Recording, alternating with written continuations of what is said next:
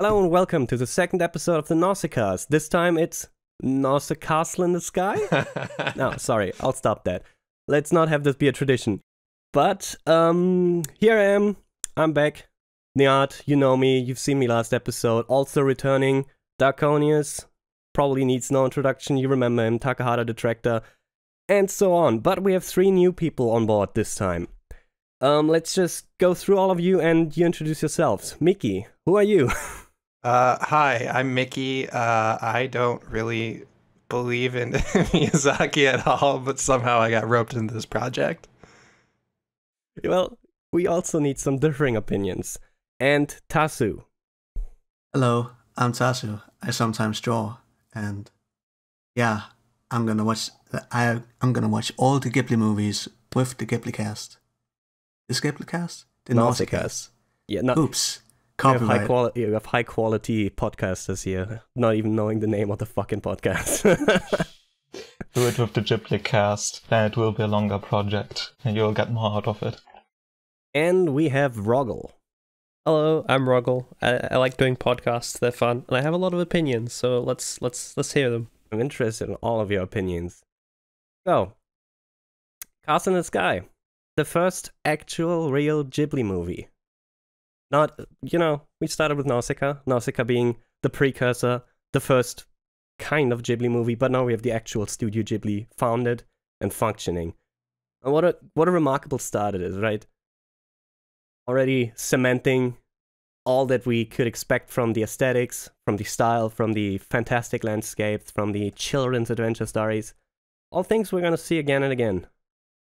I mean, yeah, this movie, I mean, the studio was founded in 1985, and of course they were thinking, what will be our first project? What will be our mission statement? Because Studio Trigger did a similar thing in 2012 with Inferno Cop, which is quite a humorous mission statement, but it is very reflective of the studio in general, I think. And Ghibli did a similar thing with Castle in the Sky, where they put all their expectations of the studio in it. Great animation, always this very clean aesthetic that Miyazaki and Takahata had developed for 15 years now. Basically all the stuff you want from them, because that's the studio they wanted to have. They wanted a friendly studio, they wanted a studio that is also aimed at families, but also is a very can be a very adult studio, as you see with a movie like Grave of the Fireflies. And I think while Laputa doesn't quite go that deep, because this is just the first movie, they do have a lot of their hallmarks in this movie, and you can see that, especially in comparison with other Miyazaki works that he did earlier. Yeah, and you're mentioning something very interesting. The fact that uh, Miyazaki was interested in making films for children again. Actually, in, in, in not only in Starting Point, but also in Susan Napier's uh, Miyazakiworld, there were repeatedly quotes of Miyazaki talking about how he really wants to make films to, um, like, inspire children. He wants to first and foremost make sh- films that will be really worth something for children. And Castle in the Sky and Studio Ghibli in general kind of were the result of his desire to make such films because at Toei and stuff, he was limited in the way in what, what he was allowed to make. He's, he was repeatedly told that his style of his movies that he wanted to make for children weren't really asked for in that current time. So what did he do? He just made his own studio and said, fuck it, I'll just do my own thing. It will be better this way. Yeah, after an Odyssey of 10 years, there was like Yeah, I mean, when did he leave Toei? 1971, and then he founded Ghibli in 1985.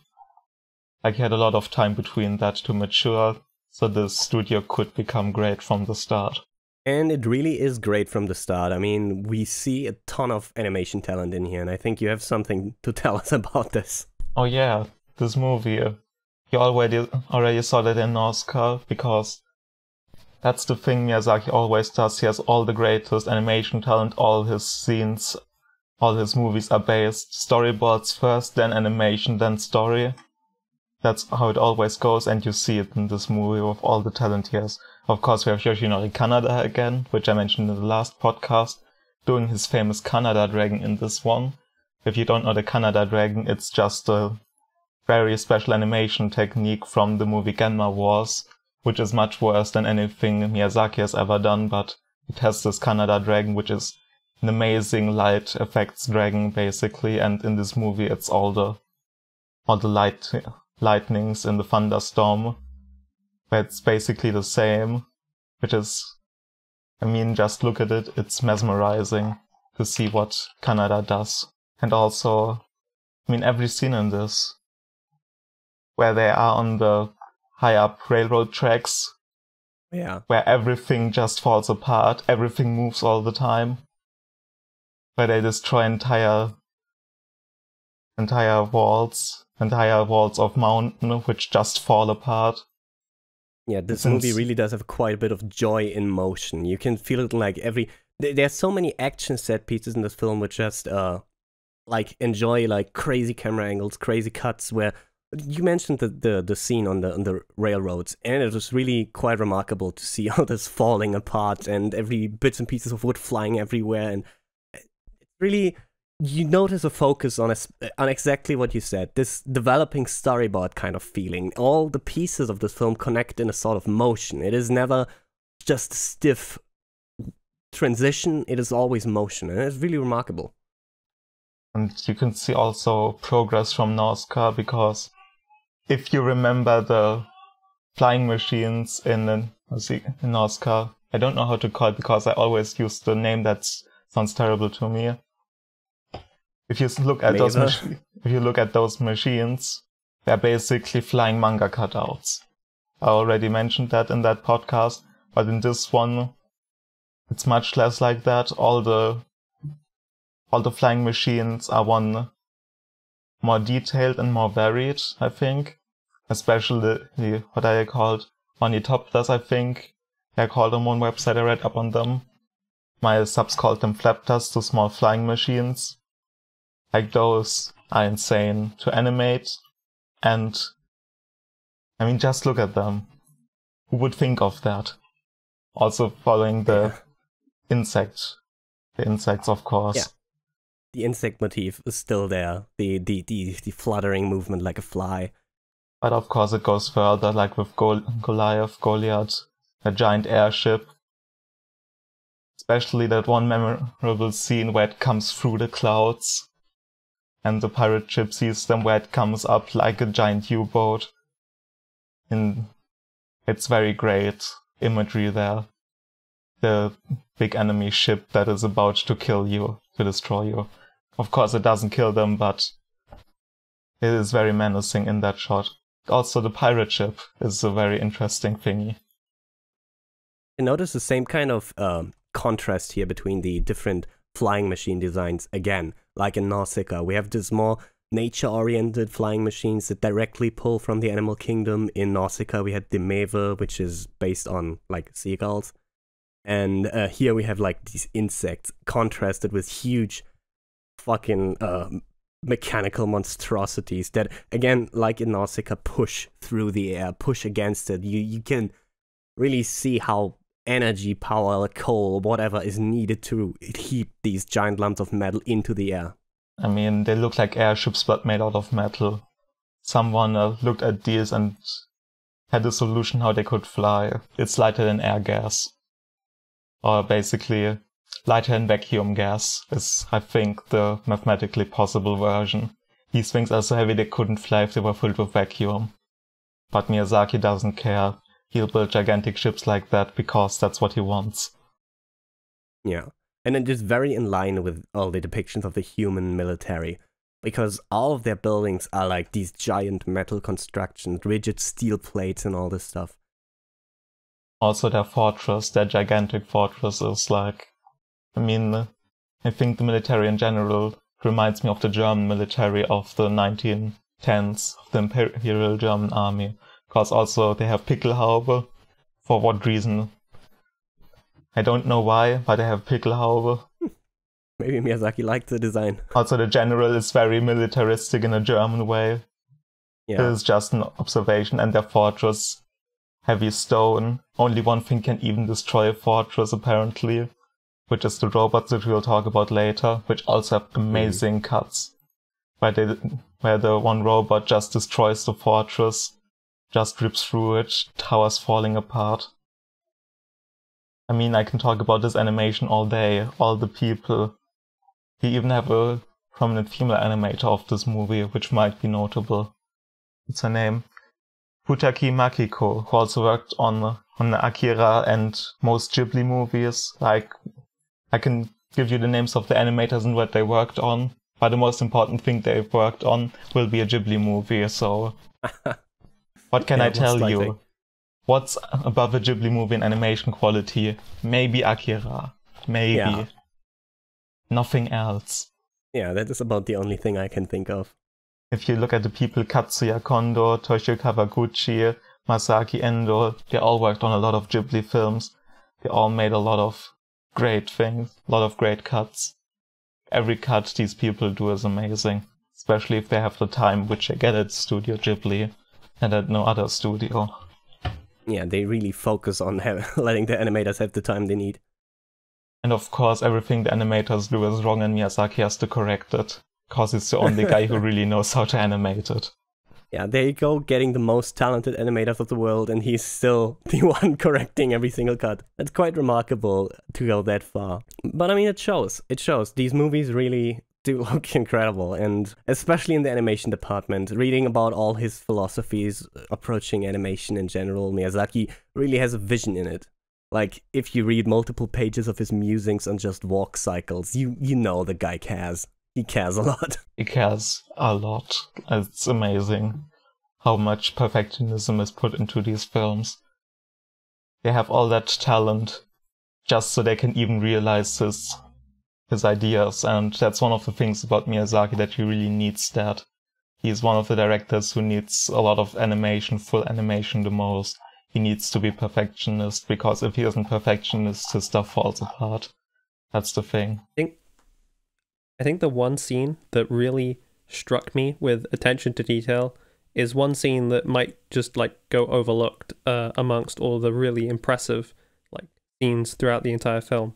Is the one scene where they they, they arrive on Laputa and she uh, is trying to fix something on Pazu's person, and in order for her to like do what she's trying to do with her hands, she flicks her pigtail behind the back of her head, and I thought that that was just such a, a, a detail that would go completely unnoticed by most people, and it was not something that they needed to include, but it was something that they they they in order to portray this character with the realism that they wanted to portray this this little girl, they they they, they made her do this action that would just create the sense of realism through her with wordlessly and without dialogue through this this this action that she takes. She becomes more realistic as a character who who does these sorts of actions rather than just someone who is only there for the particular scene and their only function within the scene is what is relevant to what is progressing Yeah, that's really a remarkable trend in most of his character animations that they always that he always focuses on the fact that they like I mentioned walking animations already, but he's really concerned with the idea that no two walking animations should look the same. All characters should walk like their personality sh- should accordingly be, right? And this shows in in all the little interactions, like flicking the ponytail, uh, the, the the pigtail and stuff. So, talking about attention to detail, what I find remarkable is again here uh, another kind of attention to detail, which is that in preparation for this movie, Miyazaki actually traveled to Wales together with Takahata, I think, and they went around and visited some uh, some coal miner, uh, some coal mining facilities, and, and looked at them. And being shook by what he saw, he decided uh, then and there, as seeing these coal mining facilities, to base his uh, setting in this uh, in, in, a, in a coal mining village.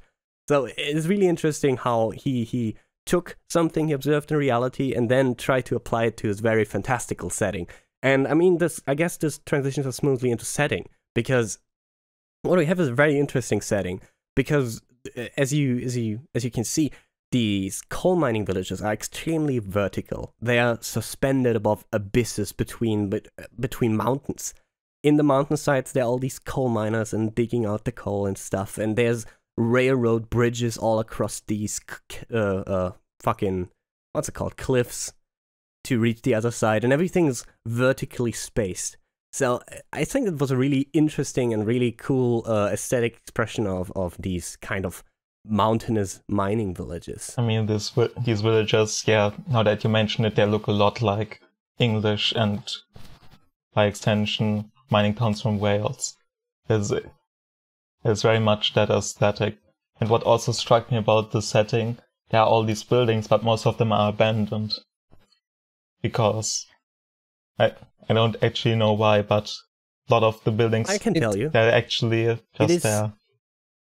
It is actually because when he was in Wales and saw these mining facilities, what struck him most was how abandoned they were. Because many of them were left behind. There was at the time some sort of economic, uh, not crisis, but collapse or whatever. And he saw all these, like, vacant mining facilities, kind of ghost towns even around. So that is what, what led him to this uh, uh, impression.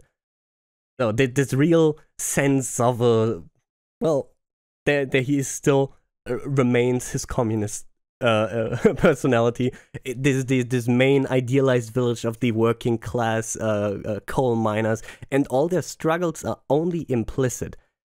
And, and, and that's really interesting. This is this is how Miyazaki creates a setting. He shows you by uh, mise en scène. Everything is in the background, in the in the characters. You can observe it from the outside. You see a very village based on a lot of solidarity because when Pazu is running around in the village, the people care about him. They ask him, "Oh, who's that? What's about you? What's with the girl and stuff?" They're all worried about him. They they they are completely ready to take care of, care of him. And even the the uh the, the train driver later on, who is uh, first supporting them, and then when the military is coming around, he's helping them out, and and and you, you really get a sense of the the solidarity in this village as displayed in their behaviors, in their in their commonly shared lifestyle of like obvious economic struggles with some vacant buildings and so on. So again, we learn quite a lot about these people just by looking at their villages and how they interact with each other. So basically, the abandoned buildings in this movie are just anachronistic because Miyazaki didn't quite realize that those buildings in the time he said it would still be used. That's what I get. I mean, But I don't. that's the way you mm-hmm. could put it. As I don't well. mind it because it gives this feeling that there has been a long history here and that this has been a way of life for ages now. And just like that, the, the stories of the castle in the sky are also extremely old, so it fits into that, that everything in this, this world is lived in has a long story, long history behind it. I think I mean, we, we could talk a little about the fact that, uh, at as you said, at this time the the coal mines would still be used, the coal facilities. The thing is, he is doing a sort of anachronistic mixture here, same as in Nausicaa also, where you have these pastoral landscapes and landscapes and villages and uh, uh, civilizations that recall of of an older past, of something more traditional, more nature oriented, more uh, well, not technically more nature oriented, but something of the past. But then you also juxtapose it with like advanced technology that wouldn't exist here. In this case, in in in Laputa, we clearly have to, uh, have steampunk on our hands. We have completely impossible technology for the time frame here and around. And Miyazaki actually commented on it himself because he said he wanted his setting to be in a time where technology was still fun. And this is very essential to to a theme I'm going to talk about later. But just now, the setting you can tell it is based around technology that is fun to an extent. You have all these these weird suspended railroad tracks. You have these huge lumbering flying machines, the funny little flying uh, uh, insect-like uh, flying machines. A lot of that stuff is really interesting and not as cold and calculated as reality or something. So Miyazaki really did put forth his vision of creating a fun steampunk setting and, and Yeah, I agree. Nothing is I more think- fun than a giant robot destroying a fortress. yeah. I, I think a, I think a big part of that is uh, how haphazard and makeshift a lot of the technology is. That it feels home brewed rather than something that, like, I guess nowadays in uh, in our society, a lot of the technology that we get is created by these big corporations, and it's all perfect and sleek, and like there's no there's no sense that it was created by a human. It looks like it was created by a machine because it, it was whereas the technology in Miyazaki's films and lot of steampunk is very uh, home brewed. It's very uh, like it looks like someone like put their soul into it. They they, they, they made it and they, they enjoyed making it and this was their their livelihood. This was their passion and they, they, they, they spent a lot of time working with these tools and making making things with by themselves and not relying on uh this this this higher concept of these this this technology that's pre-made for them. It's they make it themselves rather than have external forces make it for them. Which is also something we find reflected in Pazu's little workshop where he's working on stuff himself, all these blueprints of little flying machines and wood stuff that he's working on and so on. I don't uh, I don't necessarily agree with that take. A lot of the stuff does sort of feel uh, very early on like mass production uh, sort of stuff. Not not not quite modern, but but it does feel like um, I don't know, very soon after after standardized parts were sort of invented, very much sort of I mean, the military vein stuff. Of, uh, well, not even the military stuff. I mean, you can even, though there are, I assume, some sorts of personal touches on the uh, the ornithopters that the pirates use. yeah. Um, they are very much sort of standardized. They're very much sort of the same vehicle, but they there there is a difference between them and those of the military flying machines, but it's very Yeah. obviously uh, more of there to represent that sort of harmony with nature that that Miyazaki so much focuses on. Well, uh, the mechanic of the ship spends a good time, good amount of time customizing and, and fixing the ship themselves. And I think that that's that's that's part of it. Is is the whole? Uh, it's technology that you can fix yourself rather than technology that requires you to go to a specialist. I guess, uh, because this Yeah, technology yeah. is, is it's it's things that you you tinker with by yourself. It's Yeah. in your home. You you you make things with it. Um, but you, you, you, understand how it works. There's also a very good characterization of the three different like social groups we have here. We basically have the military and including Muska. We have the community, which is existing on the fringe of like let's say larger society, because military is the superstructure. It is it is above all. It is the dominant military uh, society dominating everything. The community is still existing within this framework, but it's kind of on the fringes. You know, they have their own solidarity, their own ways, their own ways of doing stuff, their technologies, maybe a mixture of the two, I would say. I would say they mostly repair stuff on their own, have their own way of living and do their own stuff. But then you have the pirate, completely existing outside the system, completely working on their own machines, doing their own stuff. And well, technically, we have the force kind of technology, kind of society, which is the Laputa technology, but there isn't really much of a civilization left, so those count in a kind of different category. But it's really interesting to see that there's these four different kind of approaches to technology, which will also be important later on. Yeah, interesting about the pirates as well, while we're on it, is that the pirates start out as a sort of neutral faction, even. We, we are suggested that the pirates are like schemy, schemy, skeevy, like kind of evil people in the beginning, but as it, as it turns out, they have their kind of just their own moral code. They aren't bad guys in this movie at all. They are. They turn out to be actually good.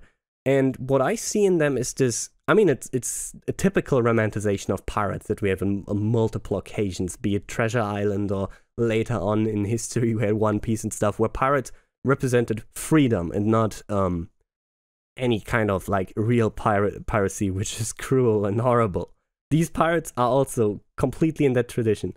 They they are outside of society, outside of the normal military patterns, have their own way of doing things, have their own machines, have their own ethical code, let's say, and they do have ethical code. And I like these pirates quite a lot because of it. Yeah, because because of the space they exist in, um, which isn't just on the fringes of society, but outside of it, they're they're very much a sort of uh, free society that's able to their uh, to create their own structure, um, and they do have their own structure, and their structure is is matriarchal as opposed to the sort of patriarchal militaristic dictatorship that we see in uh, what whatever country Laputa takes place in. Yeah, I agree, uh, and I think that's a good point to to start talking about the characters because especially in the matriarch that is Adola, I I saw I read quite some interesting things about it, and which is that um uh, in the book uh, by Susan Napier Miyazakiworld, the, she talks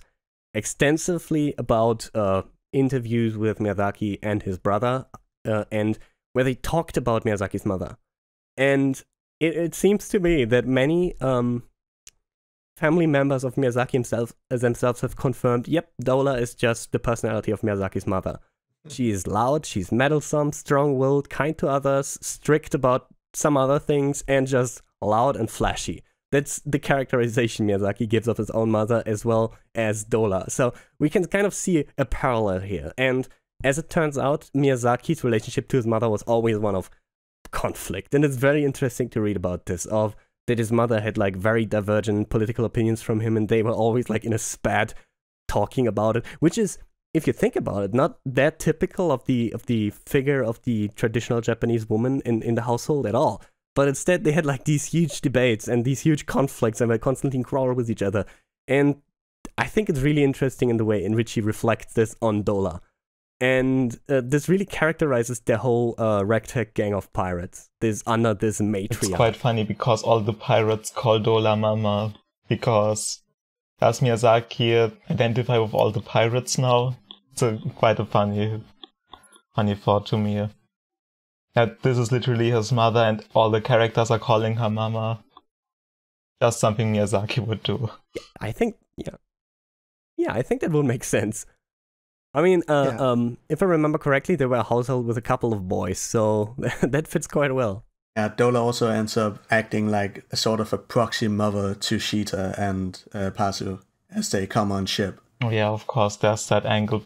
Yeah, and, like teaching them a bit of of what she of they what they have learned. So, so like discipline and getting new clothes, like a makeover shift, just to feel at home.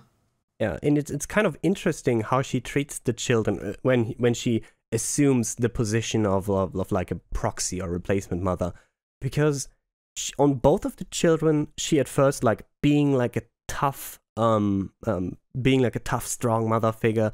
First, at first she projects ideas of their supposed roles on them, right? This moment where she tells Pazu, "Be a man," or "and you call yourself a man," uh, things along those lines. And also another thing where she talks to uh, uh, Sheeta and says, like, aren't you a girl? Uh, uh, and, and, and Sheeta just answers, so what? So are you. Like, she represents this first like moral instance, saying saying all this stuff, trying to raise them to be proper proper adults, but then also fully embracing when the kids fully go against these expectations. For example, the scene where Dola says, "And you call yourself a man because Pazu was running away from from from from the prison where Sheeta was captured," and she's like, "You got to do it." And and and Pazu, instead of uh, taking this appeal to be a man uh, as some sort of incentive to become a strong man or something in that moment, what he does is instead, I he said, "If I was clever and strong, I could do it, but please help me." So he mm. actively subverts the male boy hero figure and asks for help and doesn't even even the matriarch figure who tells him to be a man doesn't really mean it in that way. When she hears that he's asking for help, of course she does it. She's she's this strong-willed, maybe traditionally minded person, but she's completely open to adapt. And I think that's an interesting role. And it reminds me a lot of Miyazaki's stance himself, because in all of his uh, stories, what we find is often traditionally female, traditionally male figures that in some way still manage to avoid their cliches. They are their right. stereotype gender roles. Yeah, that's quite a contrast to a very similar character in Conan from Future Boy Conan, who is basically a boy with superhuman strength who uh, nobody can uh, defeat in any way, who doesn't need to ask for help. He only asks for help from Lana, the Sheeta equivalent from that show, although they are a bit more different. Only asks for help in a very few situations and he doesn't need a lot of help from her, to be honest. Every time he asks for help, it's always this frame. He could do most of this himself because in the first episode he just carries a great white shark through the through his island after hunting it himself. He's 10 years old.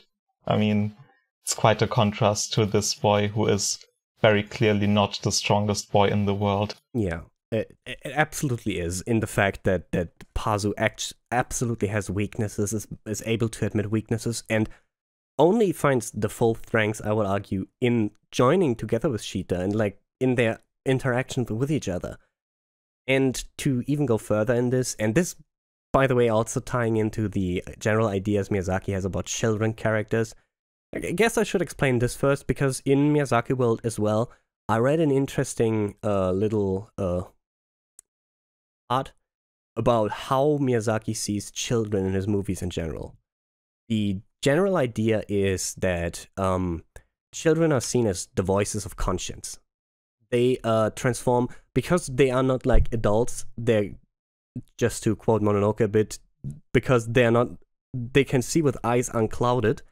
They directly put moral thought into action. They are inspiring in the way in which they are not like burdened by society, by like worries, by doubt, but instead take action. They are dynamic, they can become responsible individuals, and they frequently serve as moral guides for the adults that are in some way misled. They have a like in Miyazaki's depiction, childhood is always a space of innocent freedom, connection, of easily finding connections, of resonating with people, of immediately taking action. And in Miyazakiworld, it is actually tied into a very interesting memory that uh, uh, Miyazaki and his brother reflect on, because back in, um, in when I don't know, I, I, think I think it was a, one of the bombings, uh, one of the fire bombings hit Miyazaki's city when he was a kid, and his entire family had to hop on a truck and escape from the city. And a memory that Miyazaki still remembers, despite only being four or five years old from that event, is that he was looking out the back of this truck and he saw a, a, mother carrying a child in her arms asking to be taken with them. And Miyazaki, as a kid, didn't speak up, but he knew he wanted to speak up. And it's one of the strongest memories to which he recounts is that he he he knows he should have spoken up. He he knew that on the truck there wasn't any space anymore to to let this mother with a child on, but for him as a child, he knows he should have spoken up. He should have told his, his parents to figure something out. This is basically what he channels in these child characters who can serve as guides. Just an interesting side note to this anecdote uh, his brother Arata remembers it differently and says that Miyazaki basically uh, imagined his mother and child. But this is another story. This is basically uh, a little contradictory uh, little memory of Miyazaki, which is very indicative of his thought process, anyways. Yeah, all his main characters have this superhuman kindness in them. This is a very common thing. Also Conan. He also has that superhuman kindness, of course. I think that that's one of his classic wish fulfillment things, which he wants all his child characters to have. I mean, he also wants to inspire real children to become like this. This is this ties into the fact that he wants to make films for children.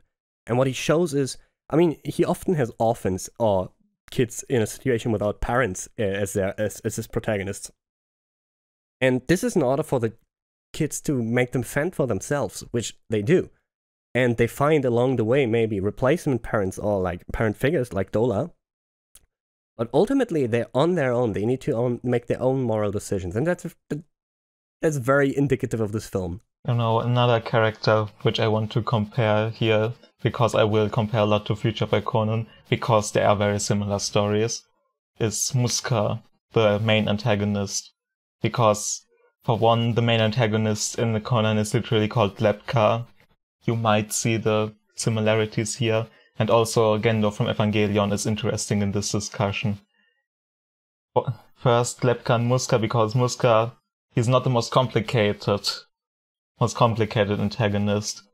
He works with the military under the guise that he will help everyone because the country thinks getting to Laputa will be good for them, it will help their situation and everything. While uh, Muska really just wants the castle for himself and rule the world with it. Lepka has a similar thing with his country industrial, where he basically just uses all the people in the country, all the scientists, and turns into an evil dictator by the end of the story. But the problem is, Lepka also has a giant weapon at the end, which is his flying machine Giganto, but his plan doesn't make any, any sense, while Muska's plan does make sense. So I think Miyazaki Miyazaki took that idea of Lepka, who is the evil antagonist who will try to rule the world, and refine it to a character that actually works, because with Lepka, he has an airplane, which will run out of fuel and which can do nothing for him, while Muska has a giant flying castle which is powered by magic and has lots of robots which will fight for him. So his plan, it's still stupid, because alone you can't rule the world.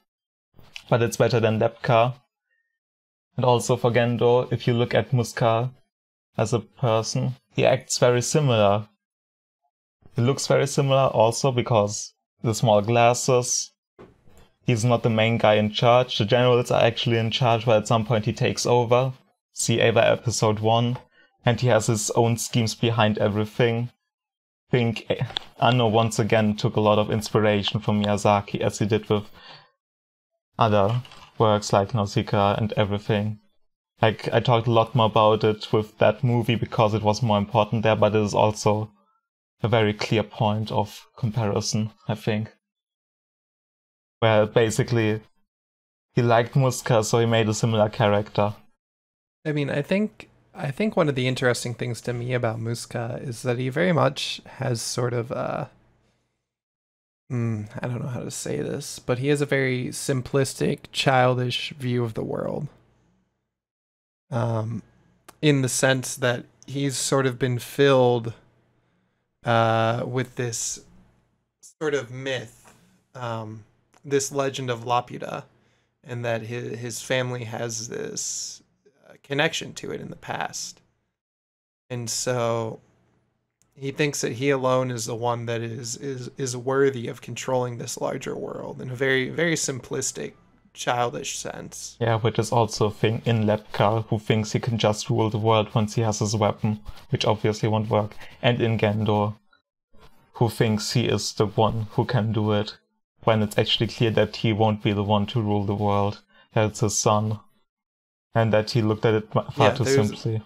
Yeah, there's no sort of I think follow up plan from from Muska. There's no sort of end goal. It's just I'm gonna get the power of Laputa, and I'm going to use this to to to what. to reshape the world to his liking. Uh, I mean, his his end goal is just power. I think. Yeah, his end goal is sitting in a castle alone with a bunch of robots and animals. That's all he has. That's all his castle is good for. Everyone he gets on his side after obtaining the castle will just want to kill him. It is obvious. Can't rule the world if you get your allies after you have the power. I don't I don't even think that that he particularly I mean I, I think there's a lot of, of I guess coding in this film about um, as it often is in Miyazaki works, of this sort of um, connection between uh, sort of living a harmonious life with nature and uh, using, uh, particularly in technology, being harmonious with nature and instead using that technology for military might, for the acquisition of power for its own sake. Um, and we can definitely see that in the, the first robot we see on Laputa where where before we were conditioned to think of these things as these ultimate uh, military machines, uh, very powerful, very strong, and and when we arrive on Laputa, and the first thing we see is this robot that's concerned about protecting a bird's nest and nothing more, right? So like he very much codes these things as as sinister or evil in the one case, and and very much beneficial uh, to be lauded in the other. Once again, this is an evolution of a theme in Conan, where in the Laputa you have the castle in the sky, and in Conan you have the the country industria and solar power, where basically in Conan once they obtain the solar power, which is the big plot point, which Lepka wants to obtain, and which they only get after Lepka is thrown out of the country where they basically use it for a lot of good things and then just leave it to be destroyed without any good reason. While in Laputa, they don't have any other choice but to abandon Laputa and they don't destroy it. More importantly, because the castle lives on with all its wonders. Well, most of its wonders, half of them fell into the sea at the end, but basically, the castle lives on, and maybe a more peaceful generation of humans can uh, go there again if they want to. While in uh, Future Boy Conan, the satellite that provides them with solar power is still there, but every all the technology that made it possible to access that power and all the scientists that made it possible die, all destroyed. I read an interesting quote from Miyazaki about Laputa. Uh, it was from an interview that he did in 2011. So he's had quite a long time to reflect on his career at this point. Um, and and this is what he had to say about it. I wanted to make an adventure story with the kind of boy hero who starts out fighting and has a lot of dreams. And I was able to confirm that people don't come to see that kind of film.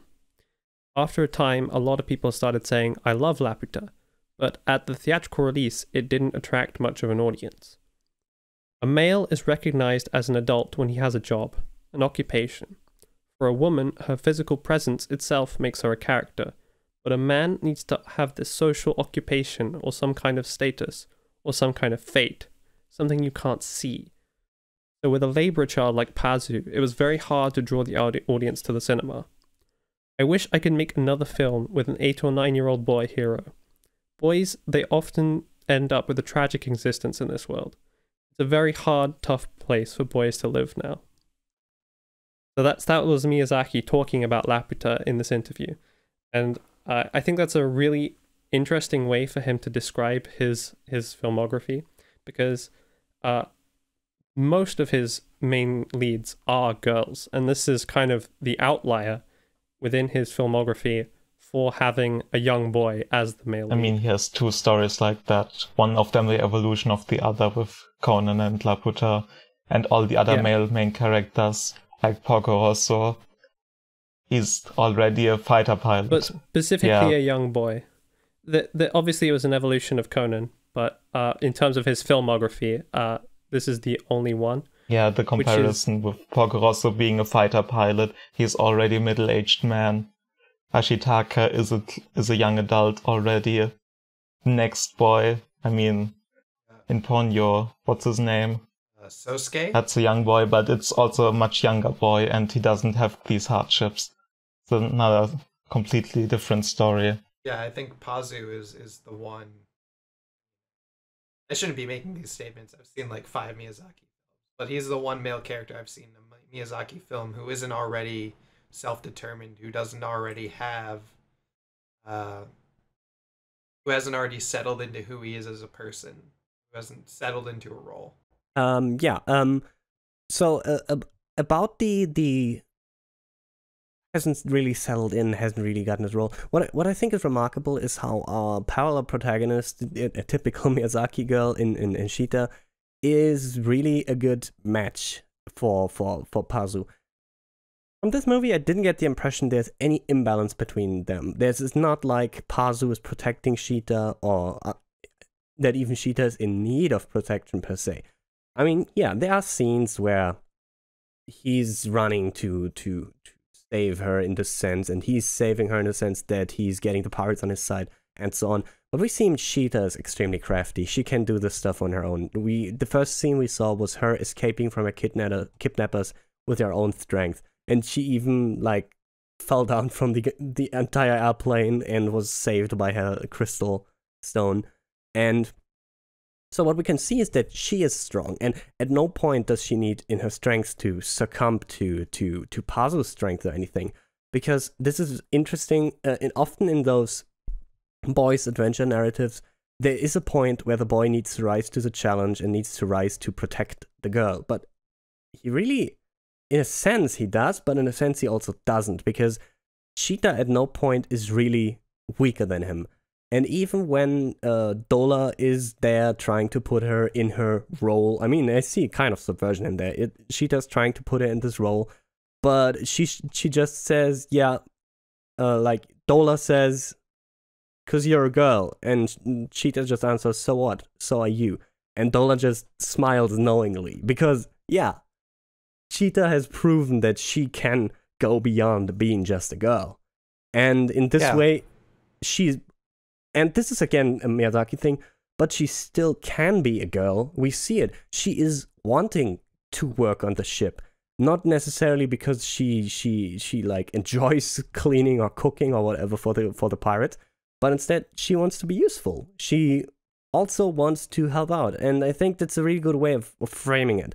The way in which Miyazaki allows girls to be feminine without making them weak women or anything like. He he doesn't fall into these trappings. Yeah, to the to the contrary of this traditional power dynamic, the first person who saves the other is Sheeta saving uh saving Pazu.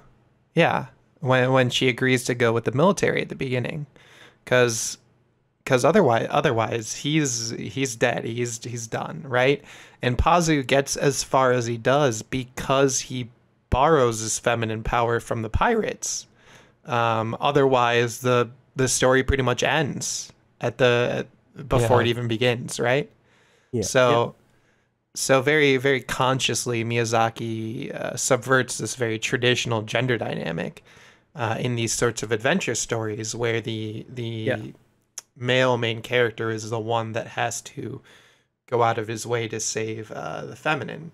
Um, instead, he just Emo. turns it the Let's other not forget that Pazu would be dead if Um, it wasn't for the crystal on the railroad, where they fell off the off the destroyed railroad track into the cave.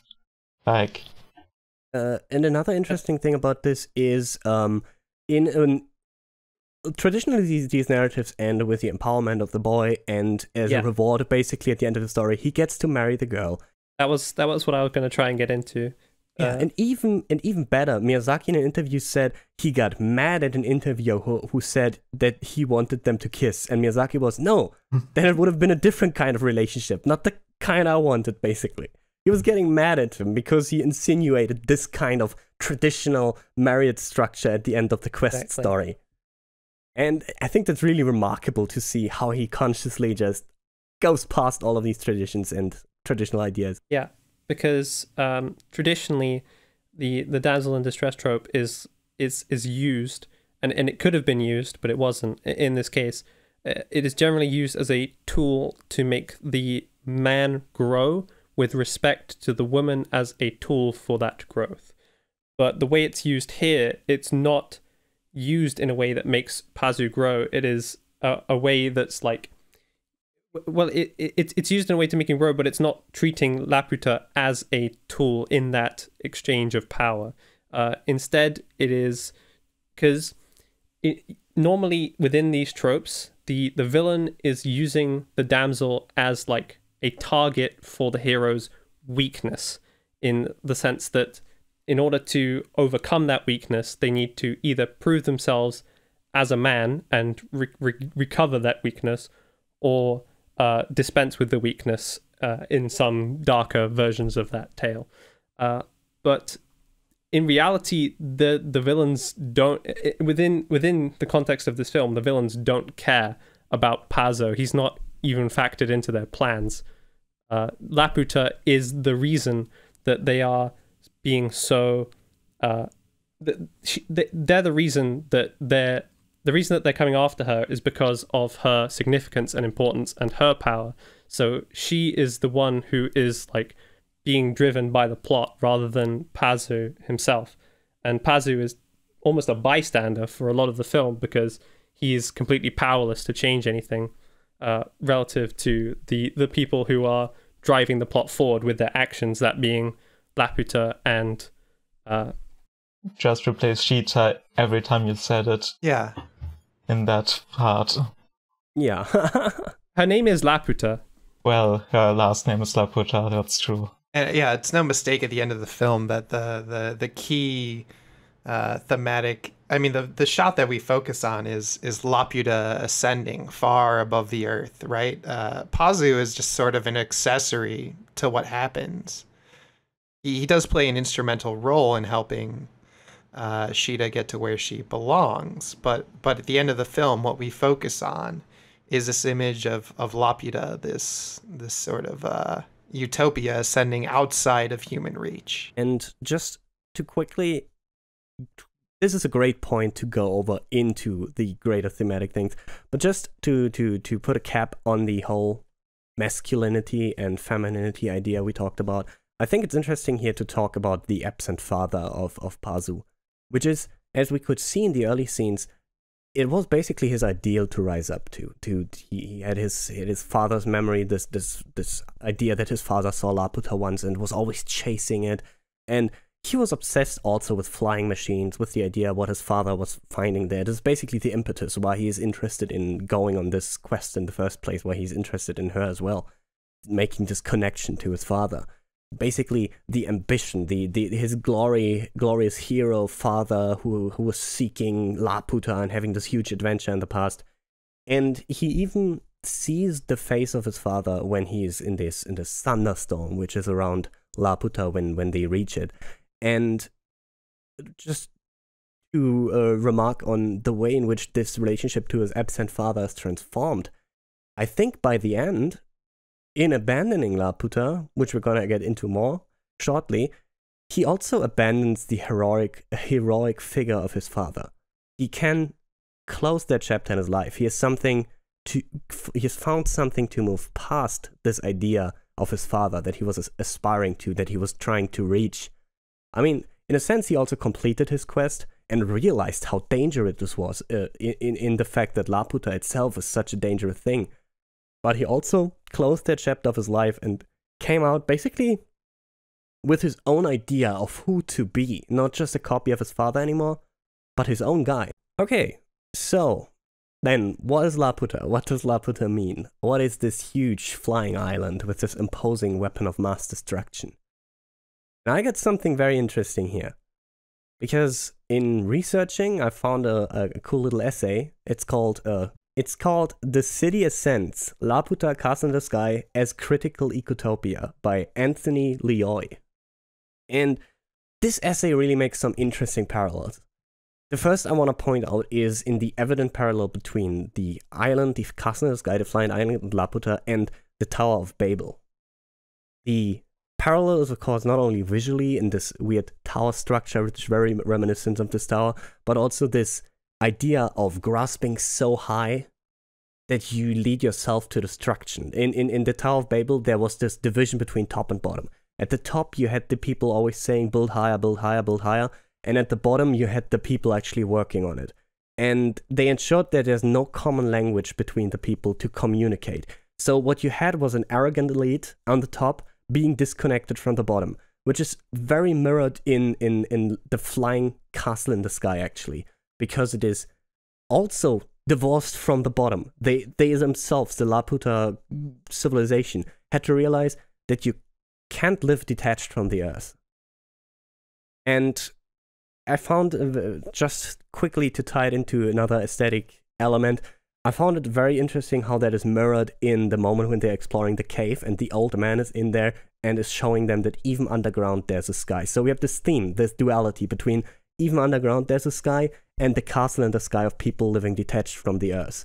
So Miyazaki is already taking a little stance here. He's he's he's drawing these parallels, saying this is this elite technology, this this separation from the earth. The earth itself is not something we must leave. We need to leave in this way flying is freedom, of course. It's, it's always his motif that flying is to some extent freedom. But you can't always fly. You can't live separated from this earth. And uh, this this essay goes further.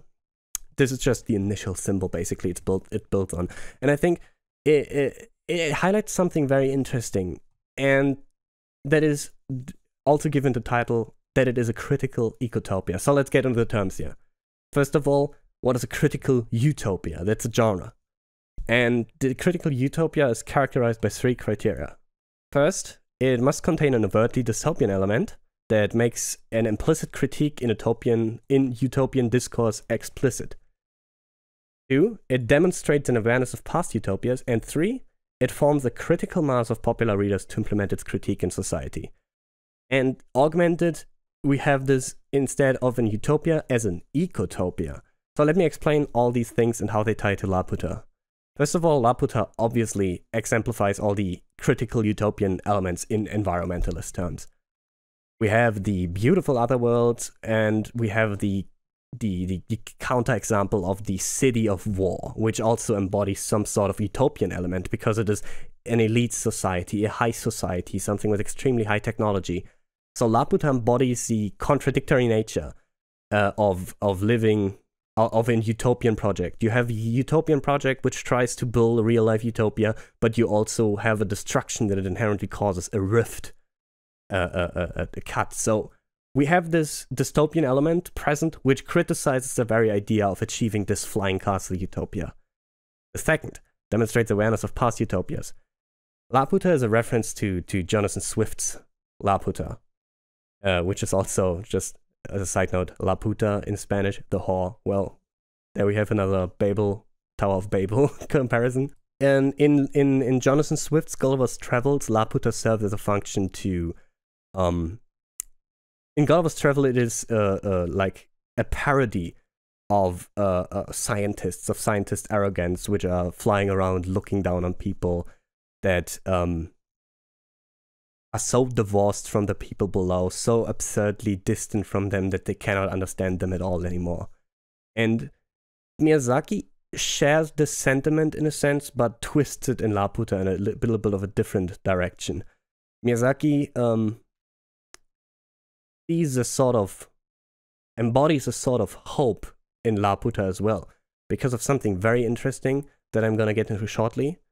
But uh, just the third point, it forms a critical mass of popular readers to implement its critique in society. I think that goes without talking that Miyazaki movies have a huge audience, that they reach people, that they can tell people that there's a conscious audience here which is, uh, which is receptible of its themes.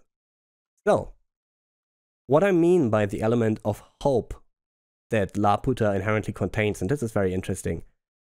If robots and nature, technology and nature on Laputa live in harmony, this is a very and I didn't think about this first. This this essay really pointed me in, an interesting direction.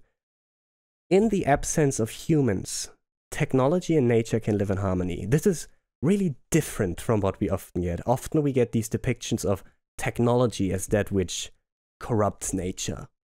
Here, we have a very clear distinction. The robot can care about the bird. The robots are gardeners. The robots are not evil and are not destructive if it's not because if it's not for humans. They are absent. Without humans, this utopia is real. And this is interesting because it tells us no, technology is not evil.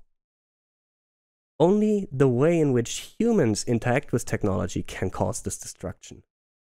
And what I like specifically about this is Miyazaki often comes off as someone with such a huge anti technological sentiment of na- natural communities, of synergistic wind machines, and all this stuff. His relationships to his communities is often a pastoral one of living closer to nature, of agriculture and stuff. But it is very evident. No, technology is not the problem. We are. Yeah, I think I think he's very. I, I, I mean, I think it's a misinterpretation to think that that um, Miyazaki takes a very luddite stance of anti-technology, of of pro-pastoral uh, nature.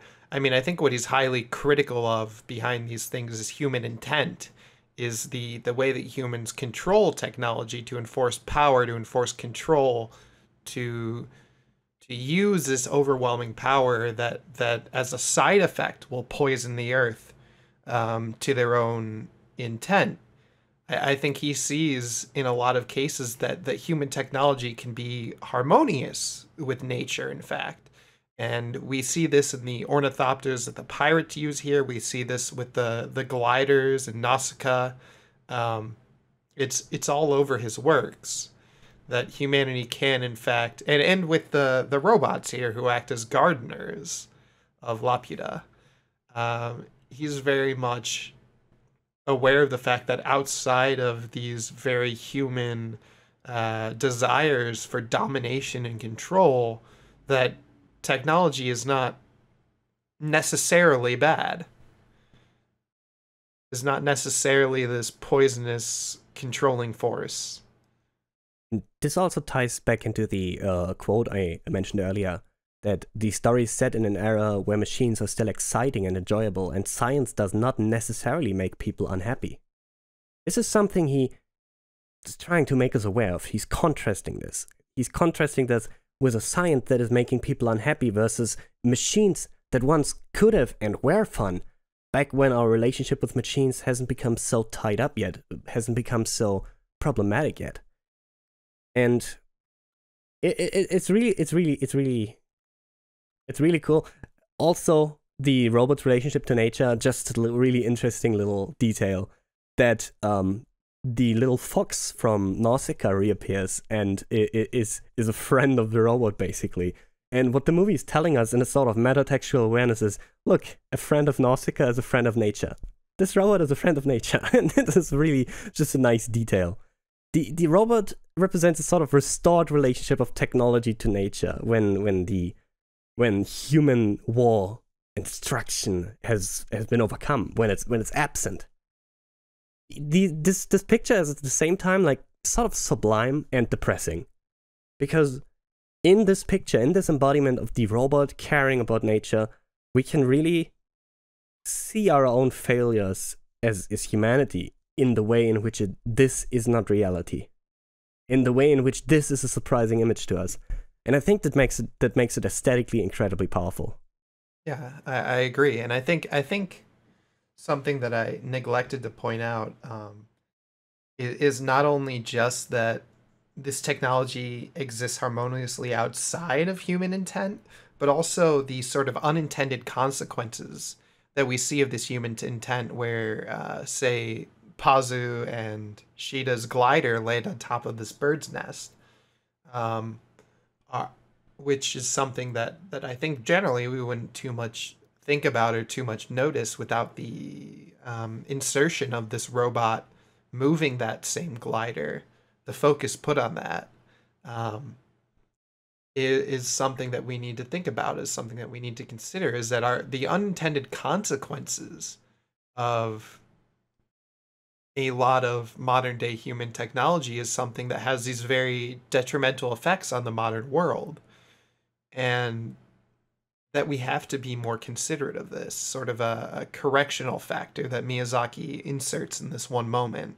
And also, very interesting about this whole dynamic is when they cast the spell of destruction on the on the city to prevent the use of the weapon and stuff not the entire island is destroyed, but instead just the weaponized part at the bottom of it, and the rest of the island carried by tree roots that expand into the sky at that moment.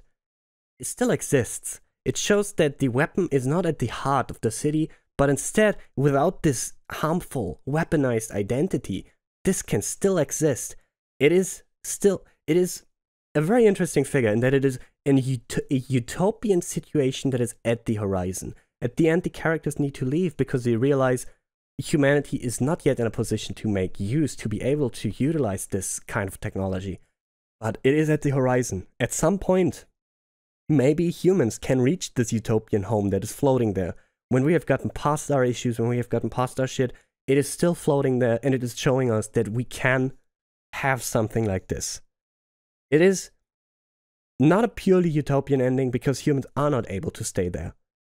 But we have still the option open to at some point reach this.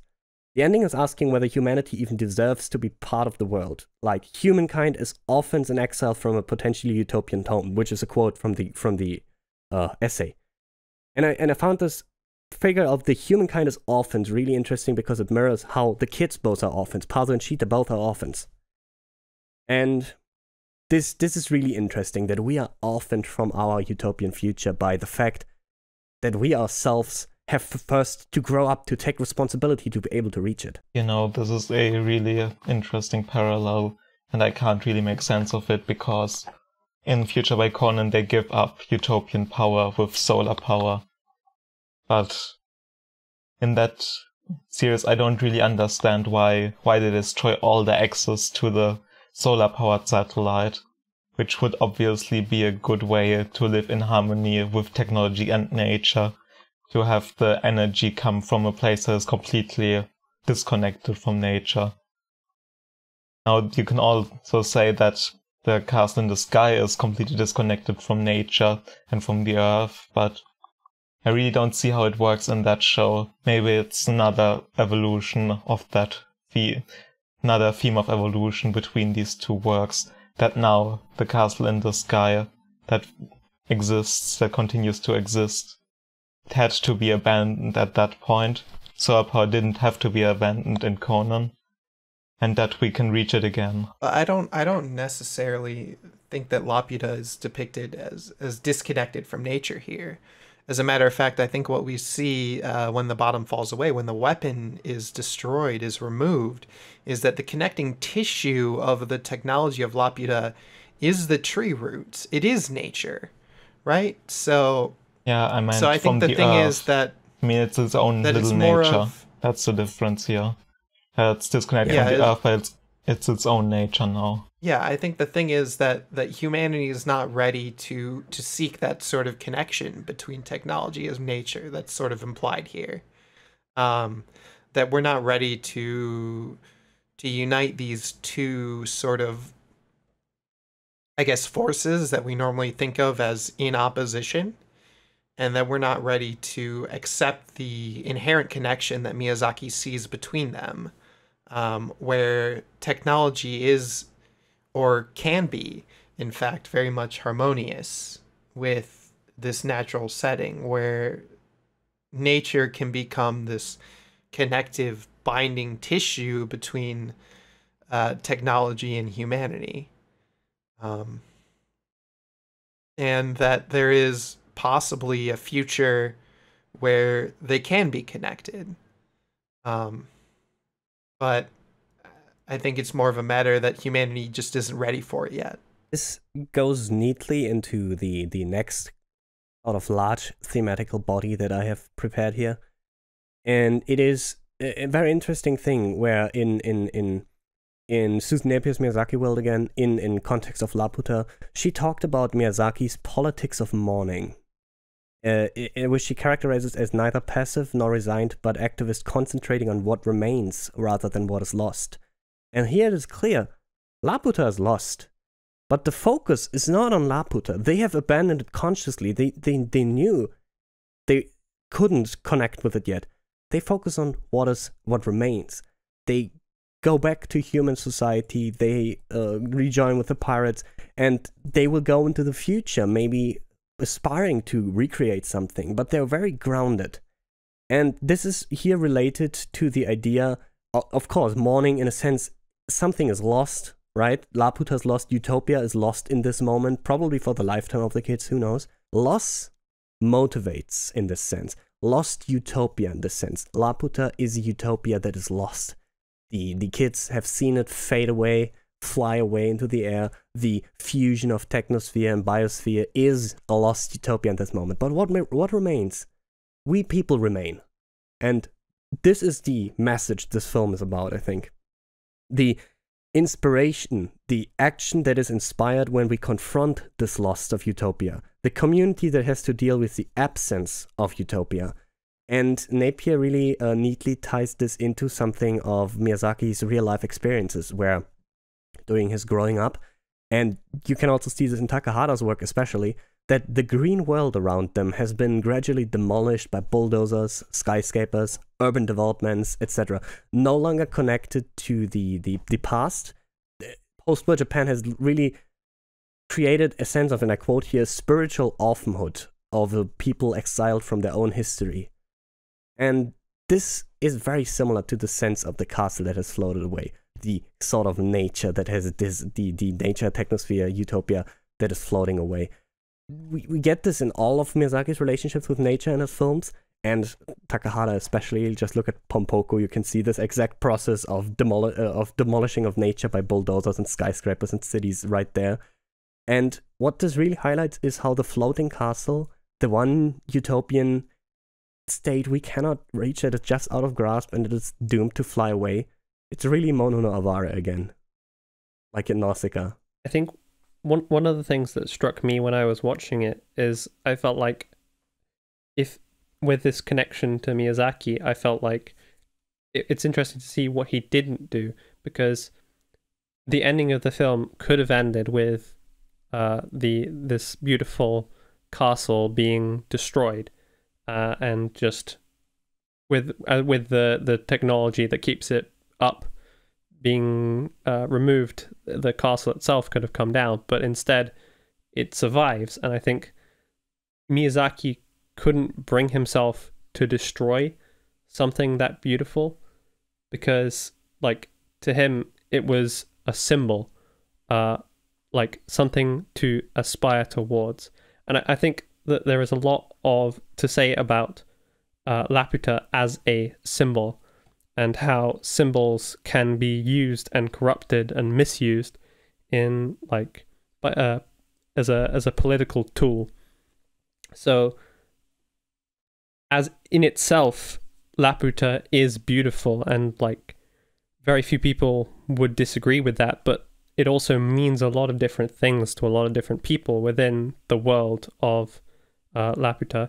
So, in this sense, it can be used for this this this purpose of looking back uh, with an idealization of these people who are who are above everything and say look at what they did. We should uh, aspire to be them aspire to be these these these people these giants and and exercise this power that they have left us to to uh, dominate all those around us but there and there are other people who look at Laputa and just see uh, a beautiful relic, something to be uh, memorialized and uh, like res- restored and repaired, or just just something to be to be looked at from a distance rather than something that you can engage with. Uh, and it's interesting to see this this machinery. Uh, I I feel like the machinery itself on Laputa is part of this physical representation of the corruption of this symbol that has occurred with this this beautiful uh, relic uh, being used for something that is so evil and, and horrible and destructive uh, that Miyazaki felt like he needed to purge the symbol of the corruptive essence that was uh, turning it into this weapon and and but it's it's also showing his conflict about it because he he understands that even still like Laputa still will be the symbol to to all these people and that's not going to change. But uh, by removing and pacifying it and and keeping it out of, of reach of of humans he's creating this barrier that stops it from being used as a tool for domination uh, between the the people who are up in the clouds and the people who are down on the ground. So I think in that sense, it's very political. Yeah, you're leading me to a very great uh, uh, uh, idea here, and that's probably everything you were getting at. This is also a critique of modernity, in a sense. It, like the all, all the 20th century projects, modernity is basically characterized by all these gigantic political projects, be it national socialists who did all their stuff to reach the glorious homeland, or be it communism, which claimed to reach the perfect utopian communist final state. But what is always on the flip side of these 20th century projects of modernity was that they were enforced by cruelty, by brutality, by weapons. This is the same thing we have in Laputa here. And we see the same yearning for Laputa in many different ways. You have uh, opportunists who want to use the weapon who who mis who Muska clearly was on on on the idea of yeah let's find Laputa, and he was always thinking about yeah I want to use the weapons. He was taking the utopian ideal, the strife, the modernist project, and was turning it around to use it as a weapon.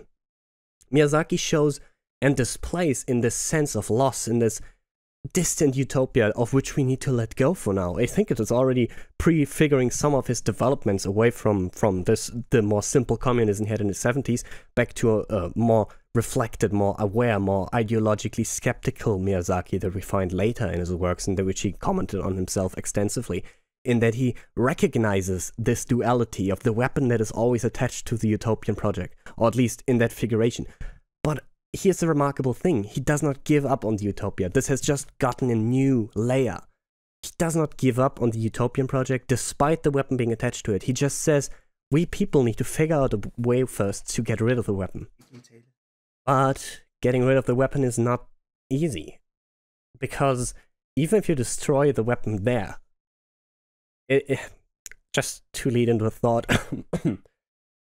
sorry. Um, the book The Anime Machine by Thomas Lamarre, which I also read on this, which writes extensively also about animation techniques used in Laputa, and it juxtaposes it with a lot of things, like for example how the flying and the movement of kids is, is displayed as very open and stuff in, in a way that relates differently to technology than Muska in his very deterministic and technologically minded stance of utilizing this opportunism, this very strong and, and, stoic approach.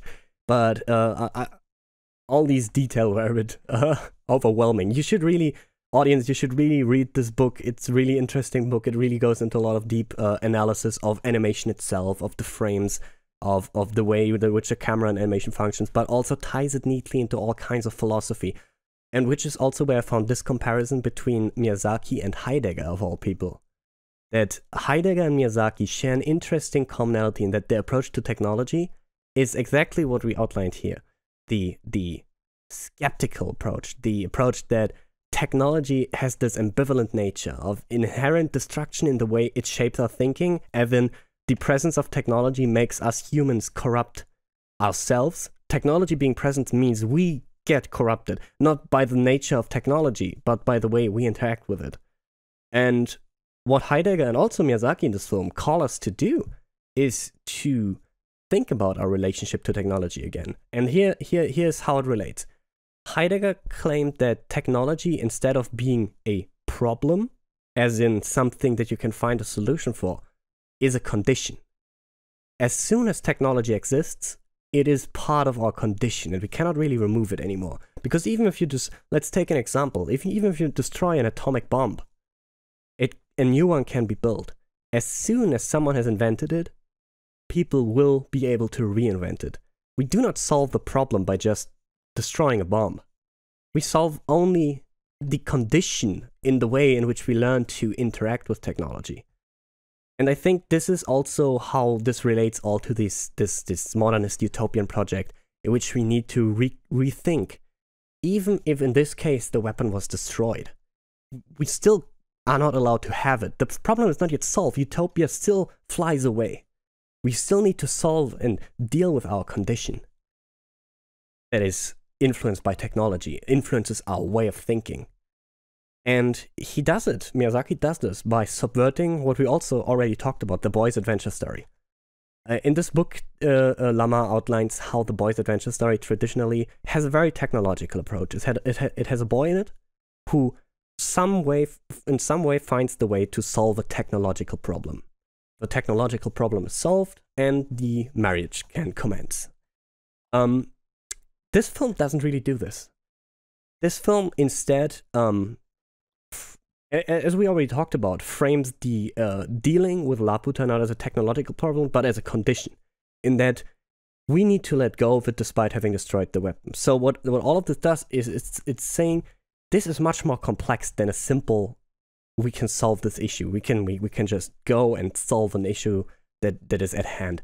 This is subverting the boy's adventure story in so many ways, but also this to really highlight the fact this is a story about our need to grow more and more, grow past this. This is not a simplistic, direct answer to any sort of issue at hand. This is a, a call, an inspiration for us to be like Pazu and Sheeta, who are able to le- let go, who are able to recognize their need to to alter themselves, who are able to let the utopian ambition fly for the moment, to maybe return at some point. Here is an assumption that people can change their way of thinking. That we can change our relationship to technology as depicted in all these interesting ways in which they can interact with flying technology, for example, when we look at the pirates and the ornithopters. And really, that is what we should be doing now.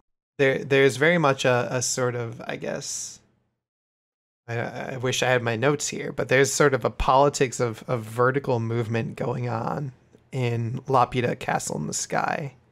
Uh, even more so than in, in most Miyazaki works, which do include that sort of vertical movement through flying machines, um, as opposed to, as as Thomas Lamarre points out, movement into death.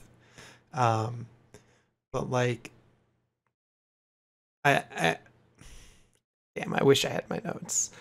Um, but like very much, I think I think the final scene of of Laputa finally being stripped of this weapon, stripped of this human control, and and ascending upwards into the sky where it can exist as nothing more than a symbol outside of human reach and control is I think fundamental to what's going on with Laputa. Um, not only does the vertical ascension represent it moving outside of human control, but more more importantly, it it ascends to exist as simply a symbol of technological harmony with nature, um, as the um, ecotopia that can exist, rather than one that is subject to uh, human control, human possession um, in terms of a, a weapon of war or such. I think something that's interesting to note uh, with the context surrounding Laputa is that the year that Laputa was released uh, is the year in history where the highest number of nuclear warheads existed around the globe at any time. It was literally at the peak of of of that curve of the amount of uh, nuclear warheads that existed, because after before 1986 it was increasing, and uh, ever since 1986 it has decreased.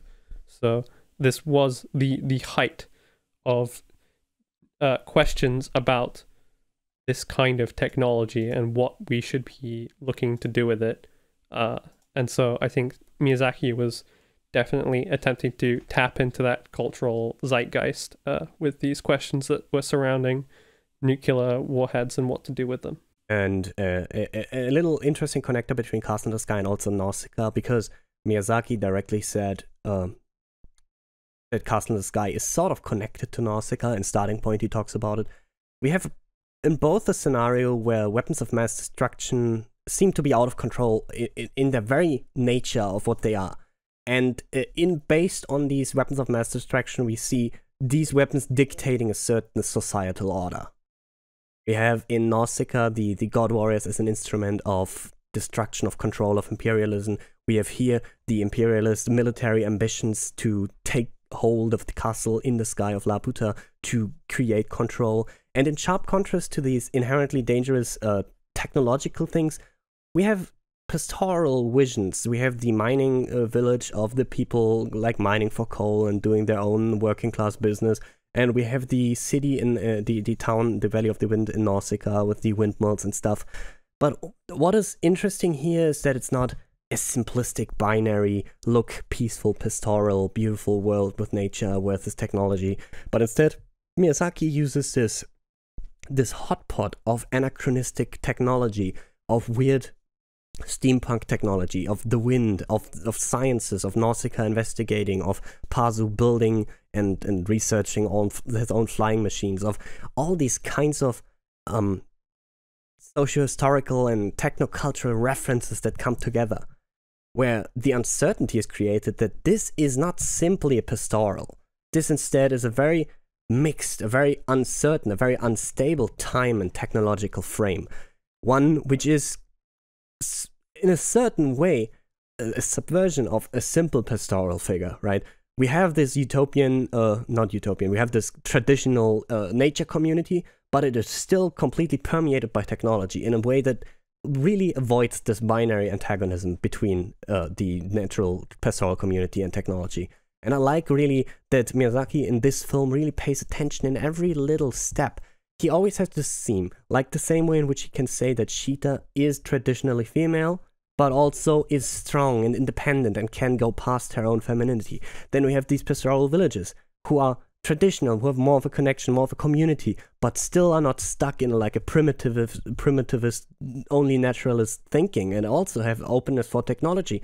We have this utopian modernist project which is floating in the sky, which is extremely dangerous, but it is still something that can be freed from its negative baggage. We can still find the kernel of goodness in it.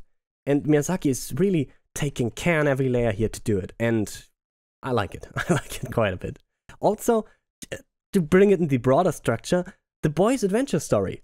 He's taking it from its simplistic way in which we said it structures it, it frames the boy's uh, uh, uh growth as uh, through the marriage plot with a damsel, or uh, to the simple, simplistic solving of one problem where the audience can just clap and sit back and say, hey, the hero saved the day. No, it's not that easy. Miyazaki takes the fun, the inspirational nature of the boy's adventure story, and he recovers it from all the issues that it had previously. And this is really, really great in his style. Let's uh, transition into the loose ends bit. Is Castle in the Sky the best mecha anime of the 1980s, or at least 1986? This is a question I asked myself completely randomly after watching this movie like two weeks ago. Which is also why my memory is more hazy because it's been a while. And then I looked at the 1986 anime it comes to mecha, and there's really not a lot of stuff. Like the most prominent shows that came out are Mobile Suit Gundam ZZ and MD Geist. Laputa is clearly the most prominent mecha anime from 1986. And does it have the best mecha? I looked at it because the designs. I mean, uh, Laputa only has one robot design, but it's distinctive, it's simple, you directly get what it wants to communicate, and it's powerful, which is obviously important because mecha are just stick measuring contests. And if you look at it like that, yes, Laputa is the best mecha anime from 1986. Does non-piloted robots count as mecha? I don't care because Transformers counts as mecha. also, Okay, Die fair Buster, enough. Diebuster counts Well, and that's Nono is clearly not piloted. Yeah, I would though. Very much true. Of course you would. Who wouldn't? Who wouldn't want again, to uh, go onto... Ah.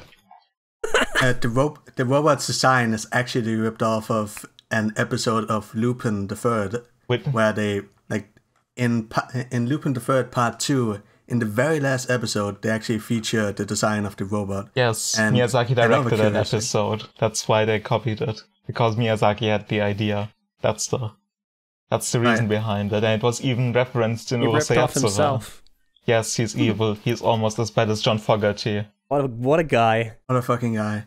Uh, I took some screenshots of that along with Fuck, Nausicaa's also in the episode. Yeah, that, yeah, along with Nausicaa, who appears in the same Wow. episode. that looks I amazing. thought that was cool. It looks absolutely amazing.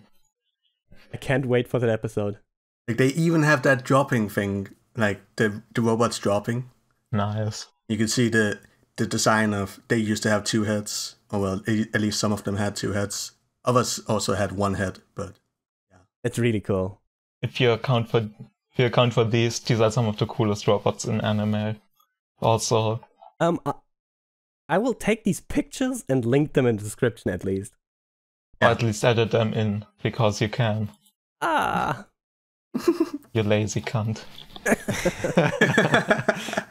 Okay, should I do the most important segment of the podcast by far? Can't wait. Okay, it's time to shit on Makoto. Shinkai again. Yay! Because if you look at, once again, my favorite movie of all time, which is Children Who Chase Lost Voices, which has robots which are basically rip-offs of the Laputa robots. It's very close, God damn it it. doesn't make any sense, it's just there because he could copy it. And also all the ruins in the, his version of the fantasy world, all just a copy so obvious where Shinkai just copies Miyazaki because he can without any rhyme or reason. That's why uh, Shinkai should be stopped from making movies. Maybe not kill him because, as I've realized in a lot of therapy sessions since the last podcast, it is not a reasonable way to handle a bad director. So we will not kill him this time, okay? Okay, that's that sounds great. I'm glad that you get better in the meantime. I hope at least. Oh, I can always fall back. And- Don't worry. I think we can all agree on the project of stopping Makoto Shinkai. I, I, I don't mind Makoto Shinkai. Can I say that much? I, You're I think fired. I yes, am you're very fired. much He ripped off every good anime. Horse. He ripped off Gunbuster, he ripped off Castle in the Sky, And he ripped how off like Nausicaa. What you childish want? and pretentious just and stupid it is. But hey, it's got a Kashiwa Daisuke soundtrack. Ooh, fair point. Well, it's just a bad soundtrack in comparison to the soundtrack, which is also a thing that went completely unmentioned. This might be Joe Hisaishi's uh, best work of all time. This might be one of the best, All right, look, one how, of the best soundtracks. how are you gonna do that to my boy, my boy Kashiwa Daisuke? Yes, How are you gonna pull out Joe Hisaishi I will. He's not even my favorite even anime fair. composer. He's not my favorite anime composer, but it's so much better. Just li- listen to Kimi wo Nosete. I or the can't main disagree. theme. I mean, Joe Hisaishi is a fucking god, dude. I mean, the main theme of this movie is just amazing. That's his best work, in my opinion. Yeah. There's so much emotion in it. I think I might agree. It- It's I don't really think I can disagree with that. It's really one of his best. It's also one of the think very things that often goes unsaid about this movie. Everybody accepts that it has a great soundtrack because it's Joe Hisaishi, but nobody mentions just how good this is and how how remarkable it is, especially from the f- previous one, which wasn't as classical. This one has a lot more of that sound, that classic Hisaishi sound, as it would become to be known, and just the main theme. It's like very specific, very yearning tone, in my opinion. It totally reflects on the movie. And in the ending, it's just so much stronger. Where you hear that song while the castle floats away on the power of an angel from Eva. Even outside of those like quieter, more reflective moments that I think Joe Hisaishi excels at, um, there's just like even even the action music in this show is incredible. I mean, also, I mean, the opening is more important than just the song that's played in there. It's very stunning animation in the opening credits that I've seen almost nowhere else. The closest thing is once again the OVA Dragon's Heaven, which looks quite a bit different. And the next thing would be a Yoji Kuri short film, and we don't go there. We don't go to Yoji Kuri. You know, you got me to watch a lot of those those shorts. You do know that, right, Dark? I'm aware. I hope you enjoyed them as much as I did. Oh, I I think I very much did. I wanted to die. So, so here you go. Joji Kuro. Check him out. He Good- 10 out of 10. Joji Don't Kuri. even watch Laputa. La- yeah, Joji Kuri. Of course. Just watch Yoji Kuri fucking short animations. You'll feel great. Very cool. This podcast is not responsible for any suicides caused by this recommendation. yeah. I mean, I guess I, I guess I should talk about why I gave Laputa a seven then. Oh yeah, you're you're an infidel. You're the only one here. Oh, well, we we have quite a, quite a good mix, I would say. We have some I mean, yeah, eights, yeah. If you nines, think quite some a tens, good but, mix yeah. is is a range from seven to ten. yes, that is a good range for Laputa. I mean, I think in terms of Miyazaki, it's you you're probably not going to get much wider. I think the the animation quality of all his movies speaks for himself speaks for themselves. Um, I mean, there's always Howl's Moving Castle. You're gonna get worse. Even that movie frequently gets high ratings and very few people rate it lowly, even with all the problems it has, because it has that Miyazaki factor. That's the thing with him. There's only one work from Miyazaki where that doesn't really apply, and that's Future Conan for me, because Miyazaki needs the budget in that show. He just doesn't have the time. Even though they went over time and over budget with that show, they needed two weeks instead of one week for an episode for that show. It still doesn't look nearly as good as Laputa or even Nausicaa or any other movie he did. Where it just comes apart because everything or a lot of the stuff looks garish in that show. And you really see uh, this guy needs every piece of animation he can get. He needs to correct every piece of animation, he needs to do everything. This man is not fit for TV animation. He needs a studio. I mean, and he stopped doing TV animation afterwards. Yeah, his last episode was in 1980. So, yes. I mean, I think I think if you look at the person who I think is is the pinnacle of, of TV animation, Osamu Dezaki, it becomes really really obvious to see where I sort of split from this love of Miyazaki. Um, I think the the best of Miyazaki's works are the ones where he involves these very uh, these more complex sort of nuanced characters, as in uh, Princess Mononoke. Um, and I also think that that um, thematically, Laputa doesn't quite have the thematic nuance of something like uh, Nausicaa, but I mean, I think I think it's just like a matter of how in depth and how detailed the characters are for me, uh, how much they resonate with me. Um, in the exploration of those characters, that really matters to me when it comes to evaluating a, a movie or a show. Obviously, I think there's some points where Nausicaa drags a little bit too long, uh, particularly.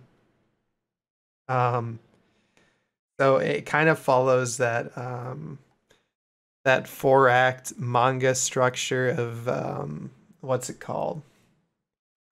Yoshi Tenketsu. Isho, Isho Tenketsu. Yeah, that thing. The Yonkoma structure. Can you explain that for the uninitiated? Yeah, so pretty much um, Kisho Tenketsu um, is a structure that basically introduces things in four parts. Uh, the first part, Ki, introduces the uh, character and important details of the setting. Uh, Shou, uh, it just follows this towards a twist. Major changes are not occurring, but we're we're setting up the actual twist of the story, and we see this sort of in the um, section that takes place at the military base, where the robot arrives. But uh, we see that the the bulk of its power is sort of um, devoted towards protecting Sheeta, um, even if we don't understand why or how that is yet. Um, and then ten is of course the introduction of a big twist, uh, a big twist. It's you know the climax, um, and then we come to a more traditional Western section called the denouement uh, where things are obviously wrapped up. We establish a new status quo, and things sort of progress towards the end. Um, and I just think that during the, I mean, I, I don't know. I feel like the first and second acts of Laputa can be decreased by about 15 minutes each. Uh, I feel like though there's very interesting and worthwhile things brought up, they don't really add to the overarching holistic narrative. And I don't think Laputa really has a reason to have a narrative that that splits off so much, that divides into diverse, uh, separate thematic uh, considerations. And I think that they just don't contribute towards an overall understanding of the thing. I think that they feel, uh, some of them feel rather disconnected or um, redundant in terms of the overall whole. Yeah, I, I think what you're saying is reasonable, especially considering that uh, Miyazaki has this very evolving structure of how he creates films. We've talked about this before, but he he storyboards and he just does scene by scene and just lets it evolve where it's where he feels it should go. And I guess yeah, sometimes then then we have a train chase and then we run into the caverns and there's this old dude and all this stuff. It, it just flows from one thing to another and it could feel like it's a bit erratic, a bit unplanned, a, a bit drawn out even, maybe not hyper focused, which is because it is.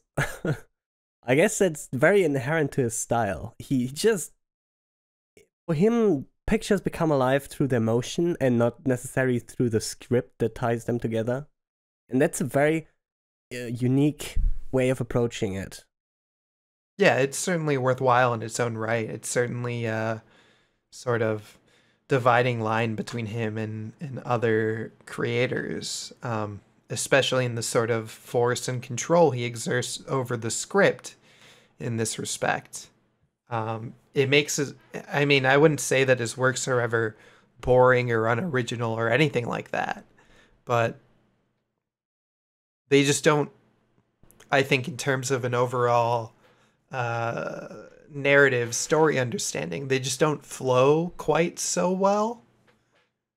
Um, even if the images themselves fo- flow smoothly into one another. You know i i've entertained the idea that Laputa doesn't have the best pacing of all time. And I see where you're coming from. I see where a lot of people are coming from. That there could be stuff cut. But to be honest, I don't care. You're all wrong. This movie is perfectly paced. This is my favorite Miyazaki film. Like, I can completely ignore that because everything else is so great in this movie. I think this perspective is really interesting to me because, like, I come from a position of I really care about tight pacing and script script structure because that's just something that I'm really passionate about and really interested in. But for some reason, Miyazaki and a lot of the other Ghiblis just completely bypass that area of my brain and just just let me sink into this world and I'm no longer caring about okay so when is the next point that they're getting to when when are we going to get to the next place? Uh, why is why was this needed to be shown? I'm just i'm just sat there and just living in this world that's been created before me.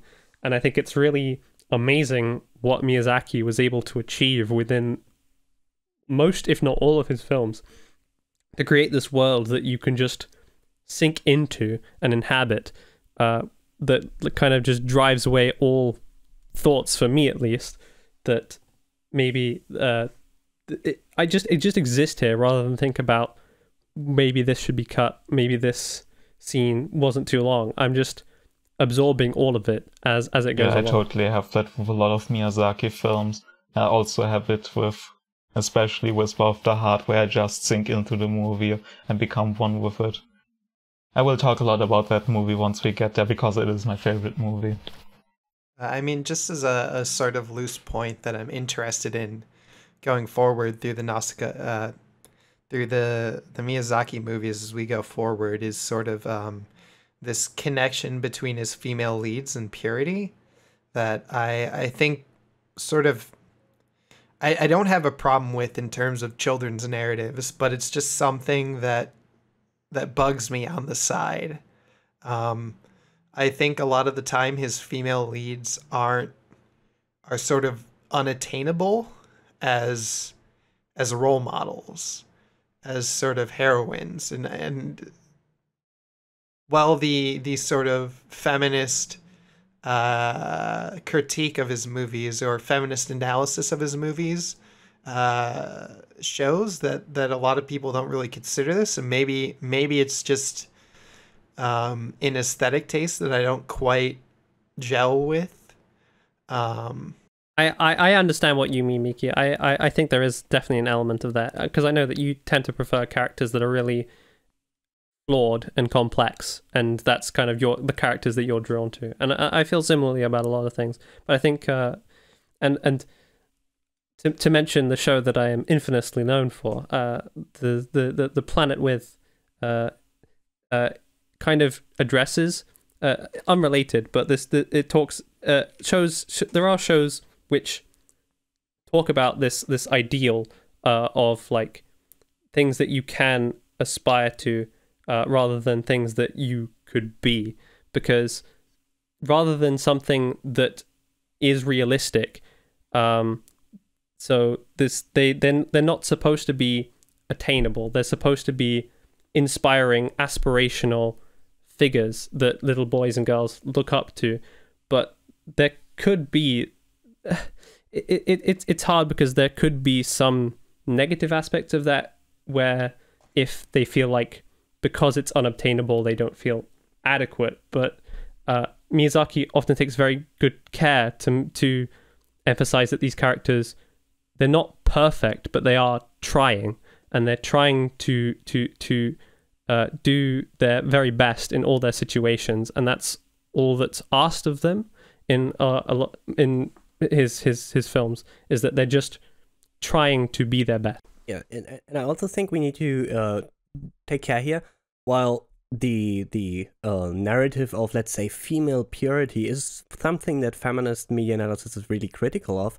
In this case, in Miyazaki, I would say it's isn't it all kids? Uh, I mean, it's Miyazaki's position that, uh, as I talked about earlier, children uh, become dynamic, responsible protagonists who take action, who who take conscience and moral considerations and transform them into actions. And their childhood is a space, sorry, their childhood is a space of innocence and freedom and connection. And this purity, this, these elements of purity in there are just emblematic of this. When it comes to adult females, we have uh, some more complex relationships. We have, for example, San in, in, in, in Princess Mononoke, who is who we cannot claim at all is is pure in any regular sense. And we also Uh. have adult female. We have Dola. Dola is also weird, corrupted. He she's determined and all this kind of stuff. The the she's a, she's a pirate. We have uh, in in Porco Rosso we have Fio, who's who's probably in a sense close to a sort of purity, but she is probably the most uh the most uh, manly of all the Miyazaki girls. I, I do agree with you in a certain sense, but I think also uh, the text uh, in San's example, particularly in San and Nausicaa's examples, um, they're very much in the same boat where they're these female characters that are very close, um, exceptionally close to nature. And considering the text of, of Miyazaki's films, which um, I think overall um, connotes nature with a very positive sort of um, uh, pure sort of force. I think they're very much, I think, outliers in these systems. I think there's something that that I think still kind of contains that connotation of purity, um, that still contains that within the context of their films. Uh, even if they do sort of indulge, I think in Nausicaa's case, very, very sort of simply, very in unexplored fashion, or even dropped, I guess, um, in these moments of rage. It's more of used to establish this connection between them in nature, which in all of Miyazaki's films is portrayed as a very pure, uh, natural force that that is something that we shouldn't go against. Um, I, think this is kind of a loose, kind of unsubstantiated connection on my part, which is why I'm a little uh, loath to to bring it up. But I think it's something worth looking at and thinking about. Um, and then when we look at characters like Dola, when we look at characters who are these older, uh, established female characters, they do kind of exist in this space where they're not subject to compromises or the considerations of traditional society. They they exist outside of it. They exist in these spaces where they're, they're these sort of um, external chaotic forces. Um, Okay, um, consider Kushana at this point, and and and Lady Eboshi. yeah, those are those are the two that I'm very, much in their systems. Yeah, who are in their systems, who are very shaped by the systems that make them up. You know. but they they end up on the the um i guess in the text of his films as the wrong side of their conflicts Oh yeah. um but i i do think they are admirable interesting people and that's why i don't think these are are points where you should or or could condemn miyazaki um but it's just a point of of worry for me a point of contention with him i guess i i, I think it's it's worrisome but I don't think it's worth um, it's worth throwing out the the text of his stories where he actually has these female characters who occupy these very powerful uh, positions. Um, and this is something that I kind of had to think about for a while to get over. Um, because I think there is a sense that he does have all these very powerful female characters, but at the same time, he doesn't present them in positions with a lot of uh, nuance or or uh, character outside the the central conflicts that he's interested in exploring. I guess the thought that just arose, uh, arose in my head is that male characters often also contain uh, a certain purity. Think of Master Yupa, who is always, uh, through the entirety of Nausicaa, a mediator. And think of Ashitaka, who in the entire quest of the movie is to be a mediator to negotiate peace. Think of Pazu, who's on equal terms with Sheeta and is just growing up as, as an innocent kid, basically. It is rather hard for me to come up with a male Miyazaki character, except for Porco, who isn't uh, who is like Uh, I have one. impure in a sense. So Captain Dyce from Future Boy Conan. He is a very morally ambiguous character. like he is a complete asshole, but at the end he's one of the good guys because although he only looks out for himself and for his own benefit, at the end he just realizes that his best benefit is helping Conan and all the people. Like he is the Yeah. most ambiguous character that Miyazaki has written probably. I mean, I didn't come up with that idea, but it makes a lot of sense to me that he is that guy. It's interesting that he's in the earliest Miyazaki auteur work, if you can call it that. I guess you have a good point there, Nyard. Uh, I hadn't really considered that perspective. I was, I guess, too focused on this sort of connection that I saw to to look outside and look at, at purity outside of those contexts. And I think I think even Porco is in his own way very uh, purely focused on this joy of flight that that Miyazaki so fixates on. Um, he has his own very concrete uh, secure code of ethics that that very much guide him throughout that film.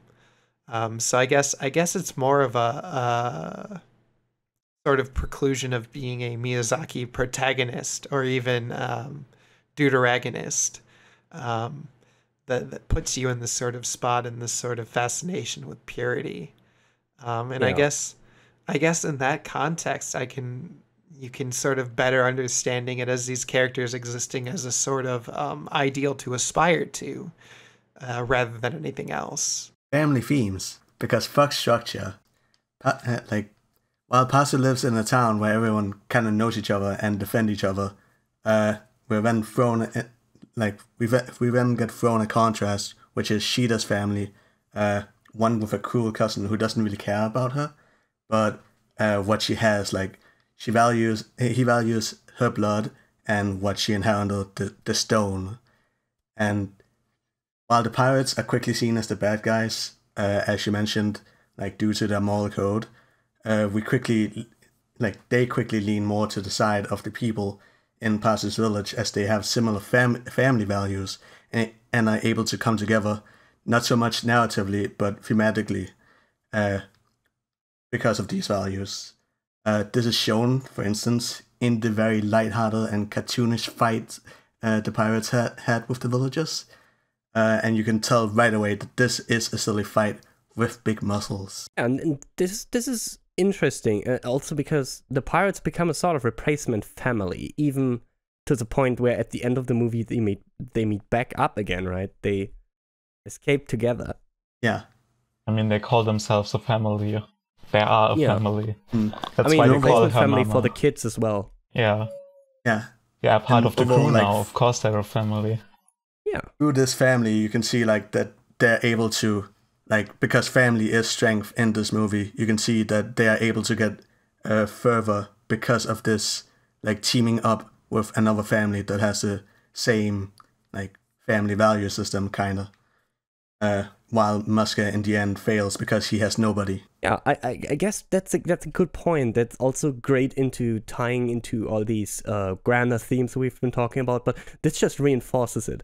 We have these, we have a solidarity of transgressive communities, which is both the village, which is existing on the fringe of of social permissibility, of of like they also don't have a problem of lying to the military and are also in opposition to the military largely.